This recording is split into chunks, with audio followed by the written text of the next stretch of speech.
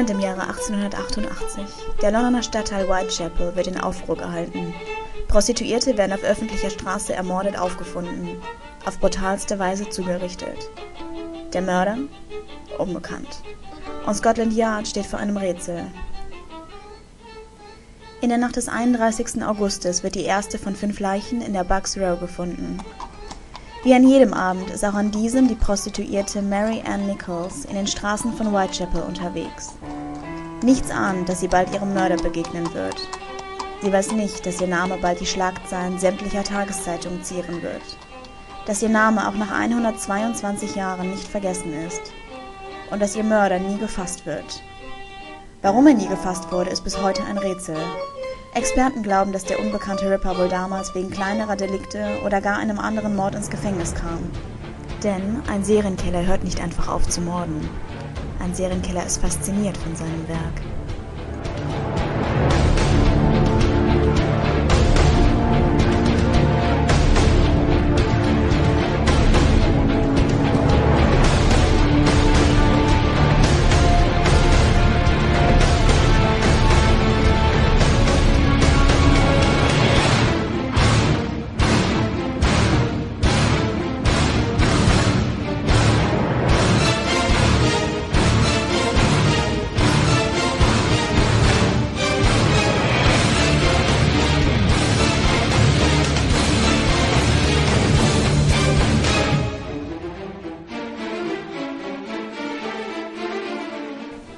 Warum fasziniert Jack the Ripper uns? Die morbide äh, Faszination von, von irgendwelchen, irgendwelchen Morden. Ja? Also es, vielleicht kann es auch irgendwas anderes sein. Ich meine, klar, Jack the Ripper zieht, weil es einfach durch die, im, im Lauf der Jahre mystifiziert wurde, glorifiziert, romantisiert. Ja? Man, man stellt sich Jack the Ripper einfach immer noch eben als, als diesen ja, also dieses klassische, klassische Bild eines, eines äh, viktorianischen Serienmörders vor. Und, und, ich, und auch zu dieser, dieser Irrglaube mit diesen nebelschwangeren äh, Straßenzügen in London, also wir wissen aus gesicherter Quelle, nämlich den äh, damaligen Wetterberichten, dass zu dem Zeitpunkt einfach kein äh, Nebel durch die Straßen von London waberte. Ja, es hat geregnet, ja, sehr viel geregnet, aber es war kein Nebel. Und, und gerade dieses Bild einfach, wenn man, wenn man das halt einfach sieht, ja, so, so von hinten irgendwie beleuchtet, kommt aus dem Off so eine Gestalt mit einem Zylinder und mit einer Tasche in der Hand und mit einem wehenden Mantel. Ja, sowas zieht einfach, klar.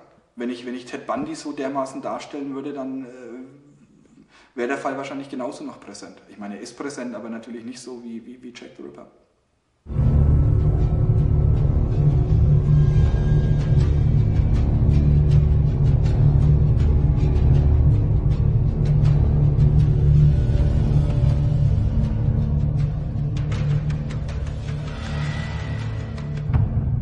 The media has played a great role in keeping people interested in Jack the Ripper.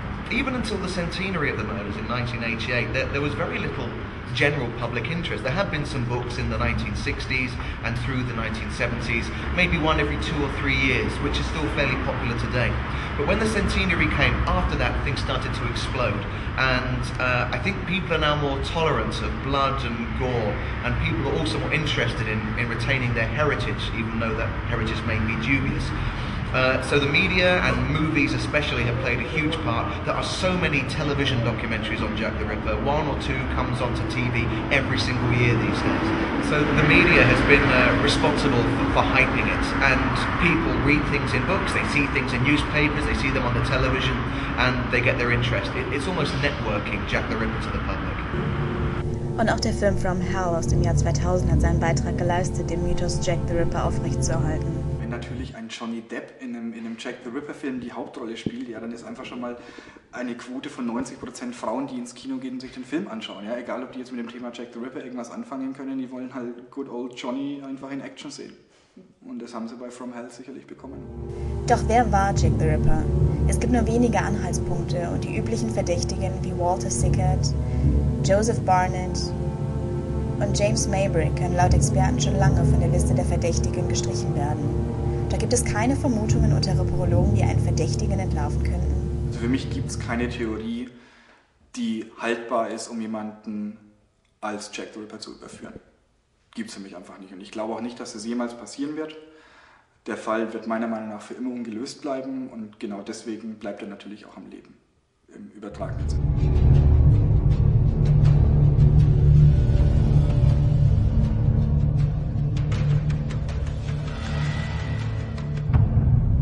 Even to this day and in the future, we are never going to know who Jack the Ripper was.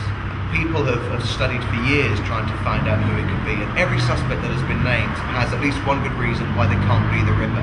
So much has been uncovered that no matter who you name, there is enough evidence these days to say that even if there is a mountain of evidence that suggests one person was Jack the Ripper, there is also a mountain of evidence to say that they weren't. My own personal opinion is that he was a local uh, Jewish man who was skilled with his hands, may have worked as a horse slaughterer or as a butcher. I think you'll find many Ripper historians share the same opinion.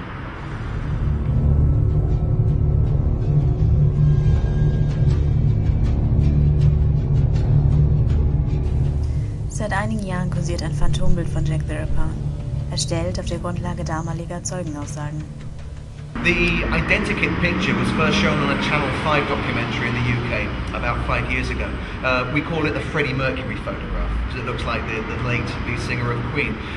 It's based on every description we have of Jack the Ripper. It is a, a waste of time, it's a game. Jack the Ripper has been described as old, young, fat, thin, tall, short, dark, pale, moustache, no moustache, everything. And that is simply a fusion of all the, all the suspects that have been named. Leider wird bei all dem medialen Hype um die Geschichte des Rippers immer wieder vergessen, dass fünf Frauen auf brutalste Weise ermordet wurden.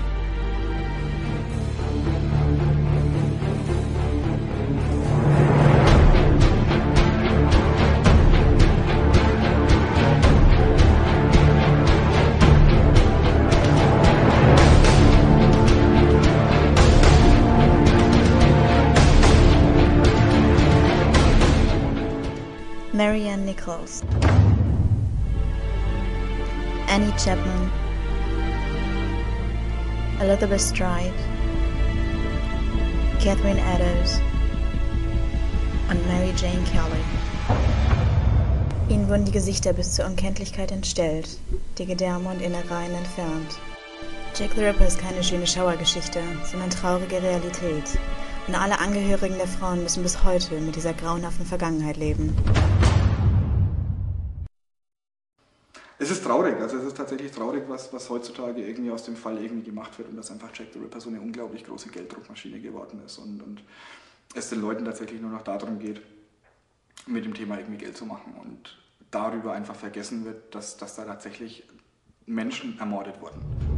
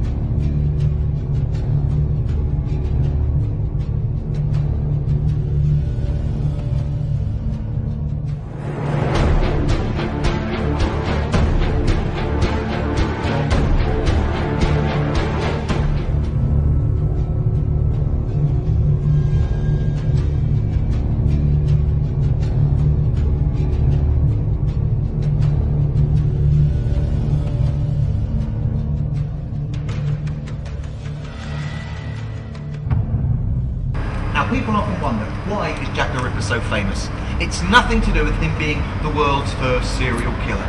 That's a myth. There's been serial killers for centuries and centuries. The difference with the Ripper is that he was the first one the average man in the street knew about because he was the first serial killer who killed so many women, all strangers, in such a short space of time, in such a small, densely populated area, and mutilated the victims so badly. No one was ever caught and put on trial for the murders, so we'll never know for sure how many women he actually killed. Estimates range between 3 to 17. Most people think he killed 5. Some of us think he actually killed 6. Doch was würden Ripperologen denken, wenn nach all der jahrelangen, teilweise lebenslangen Suche nach Antworten plötzlich die Identität des Rippers herauskäme? Nach unendlicher Zeitaufwendung, um Details und Indizien zusammenzutragen, nach etlichen Spekulationen und Thesen, was würden Sie tun? If, if I personally found the information myself, after the initial elation, there would be a great deal of worry. I have uh, been the discoverer of some important items connected to Jack the Ripper in the past. And although most people appreciate it, there are always one or two people who make your life very difficult. I've even had a stalker who went to prison. Uh, yeah, it, it become a, can become a very dangerous game. Um, so you would have to be very careful with what you did with the information. Um, all you can do is present it to people and uh, try to keep maybe some degree of modesty about it. Uh, I mean, I have an ego like everyone has an ego, and, and, when the ego gets too big, then people start to kick you a bit, even if you're only doing good things. So you'd have to be careful what you did with the information. Um, I, I, think for myself, I, would probably have another book out of it. but books do not earn you money unless you, unless you're uh, J.K. Rowling. Uh, you you won't get rich from writing books.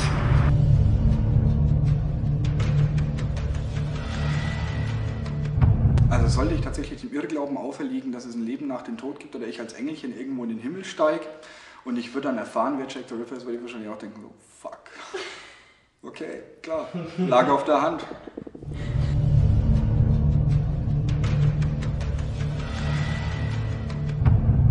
Persönliches Interesse wird natürlich dadurch geschürt, dass es einfach ein ungeklärter Fall ist. Klar wird man sich auch im, im Namen der Opfer wünschen, dass der Fall geklärt wäre, ja, dass die einfach zur Ruhe kommen.